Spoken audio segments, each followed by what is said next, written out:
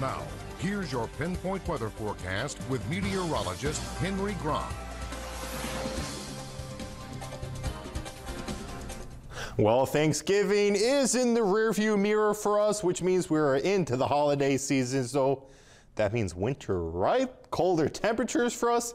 Well, also, yes, and I know not a lot of people are looking forward to that. That's what we're going to be dealing with for the start of this week. So, not a good way to kick off our Monday with cloudy skies and cold temperatures.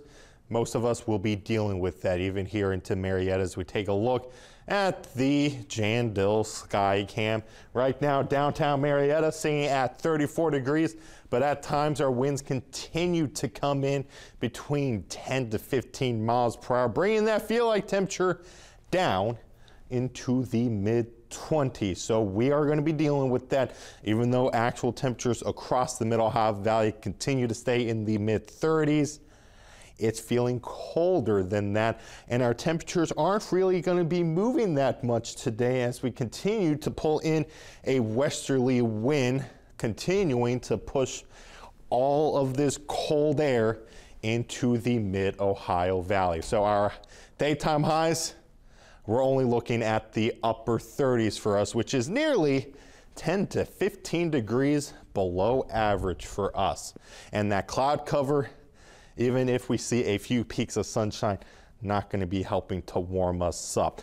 Now, luckily, no snow. Well, I mean, we should get snow when we're dealing with very cold temperatures, but if you want that, we're seeing that up towards the north around Cleveland where the lake effect snow machine is pushing through.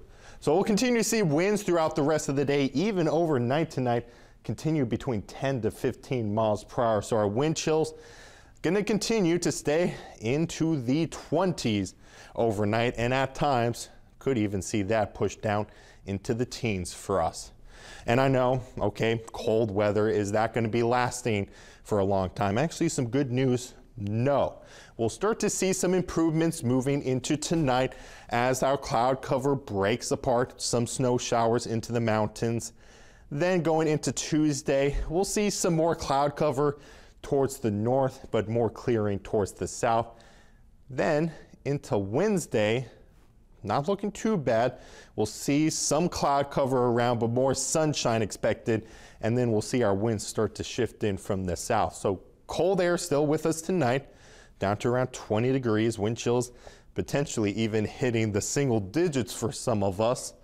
Then for tomorrow, not the best a little bit more sunshine, but daytime highs only into the low 30s for us.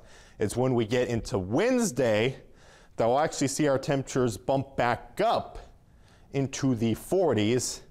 Then by Thursday, those low 50s start to come in. Just keep in, no, keep in mind those jackets, gloves, and hats. We'll definitely need them for Wednesday morning since we'll see that temperature dip down into the teens.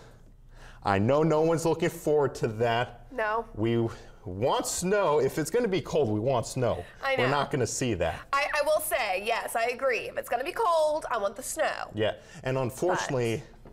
not going to see that. The best we'll get is another round of rain for Friday. I know, and you know, December 1st is on Friday, which is already hard to believe, but it's already feeling like December's here. Like we're in the middle of December, like yeah. we already should be a week yeah. closer to Christmas. I know. Now I'm just waiting for the snow. Just waiting yeah. for the snow oh, now. I'm looking forward to the and snow. We all know you are, Henry. It's your favorite time of the year. I'm excited for you.